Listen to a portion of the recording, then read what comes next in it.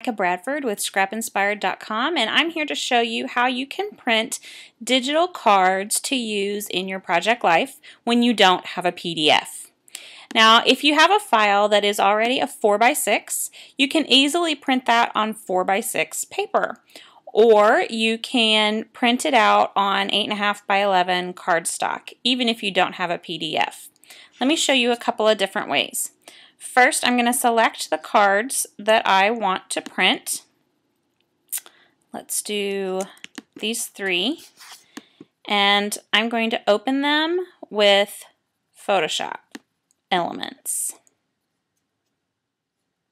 Now my cards are here in Photoshop Elements.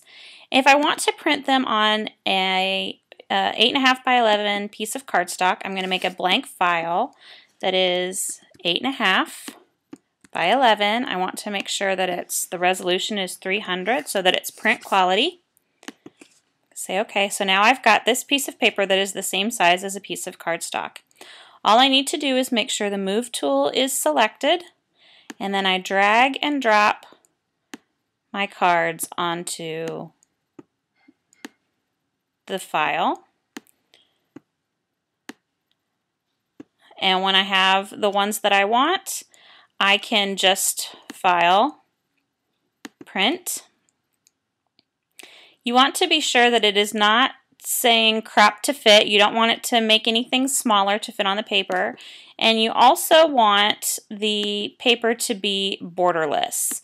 That way it doesn't shrink anything down. It keeps it at the full size and then you hit print. But what if you want to print it on a 4x6 card? Follow the same process, only you make your file size 4 by 6. And if you're going to print two of these 3 by 4 cards, you can simply drag them on, move them over so that you have them side by side, and then you can print them on a 4 by 6 and simply cut straight down the middle and you have two cards. Those are the easy ways to print digital files for your project life. Thanks for watching and um, visit me at scrapinspired.com.